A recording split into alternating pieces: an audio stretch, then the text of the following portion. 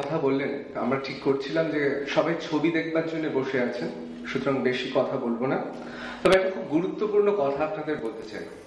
সেটা হচ্ছে, আমার সঙ্গে এখানে এসে পরিচয় হলো একটি ছেলের তার নাম বাসব বরণ দে। তা বাসব বরণ আমাকে জিজ্ঞেস করছিলেন যে, দাদা, এই যে ডকুমেন্টারি ফিল্ম করি শর্ট ফিল্ম করি, খুব কষ্ট করে তৈরি করে আমার বন্ধুরা। খুব একটা মানুষজন দেখে না এত সব কিছু তৈরি করে কি কোনো লাভ হয়? আসলে এই প্রশ্নটা বোধ আমাদের সবার। আমি আমি জানি আপনারা কিছুক্ষণের মধ্যে ছবি দেখার জন্য অপেক্ষা করছেন, তাও একটা খুব জরুরি কথা বলতে চাই। শুধু এই শর্ট ফিল্ম ফেস্টিভ্যাল নয়, কান ফিল্ম ফেস্টিভ্যাল থেকে শুরু করে পৃথিবীর সব ফিল্ম ফেস্টিভ্যালে ঘুরে ফিরে যে কথাটা আসে, এখনও ফিল্ম ফেস্টিভ্যালে একজনের জন্য চেয়ার সবসময় খালি থাকে। পৃথিবীর একজন বিশ্ব বরেণ্য চলচ্চিত্রকার, এখনও বন্দি, জাফর পানাহের মতো একজন অত্যন্ত বিভক্ত মানুষ। যখন আমরা ছবি নিয়ে কথা বলি, যখন আমরা মিডিয়া নিয়ে কথা বলি, যখন আমরা সংবাদ মাধ্যম নিয়ে কথা বলি, আমাদের জেনে রাখা ভালো বা মনে রাখা ভালো যে এখনও কিন্তু পৃথিবীতে এমন কোন দেশ আছে, এখনও পৃথিবীতে সমাজটা এমন যে জাফর পানাহের মতো ব্যক্তিত্ব তাকে জেলখানার অন্ধকার কুঠুরিতে থাকতে হয়। তাকে ছবি তৈরি করতে হয় আইফোন দিয়ে।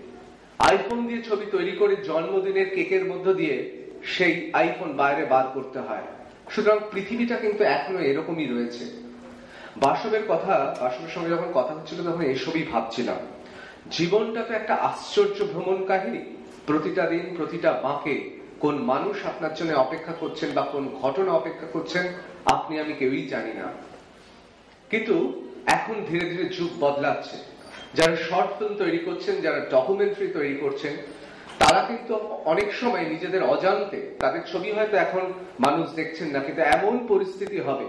বাংলাদেশে যে ছেলেটি ছবি তৈরি করেছে, প্রথম দিন যেদিন প্রতিবাদ জাগলো তখন কিন্তু সংবাদ মাধ্যম না। একজন ডকুমেন্টারি ফিল্ম মেকারের কাছ থেকে সেই ছবিটা পাওয়া গিয়েছিল।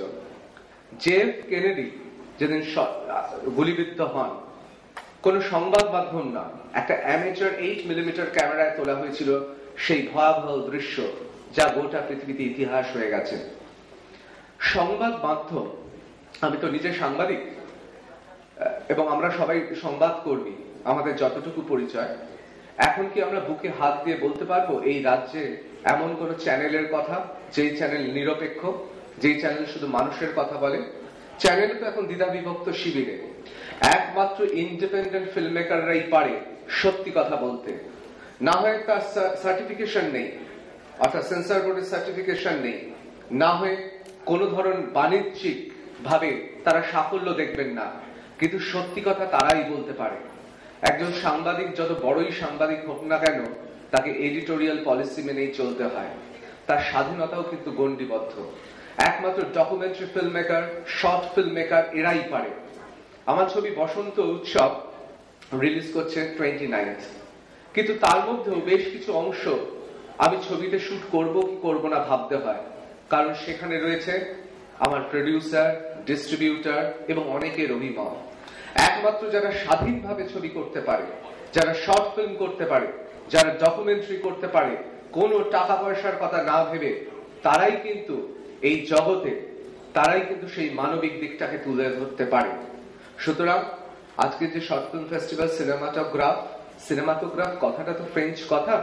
এই কথাটা শুধুমাত্র সিনেমাটোগ্রাফি নয় আর্ট অ্যান্ড ফিলোসফি অফ সিনেমাটোগ্রাফিকে সিনেমাটোগ্রাফ বলা হয়। সুতরাং সত্যি, আজকে প্রথম শুরু হলো, আগামী দু তিন দিন, দু তিন বছর বাদে হয়তো এটাই একটা প্ল্যাটফর্ম হয়ে যাবে। সুতরাং সেই আশাতেই থাকি। আপনাদের সবাইকে অসংখ্য ধন্যবাদ।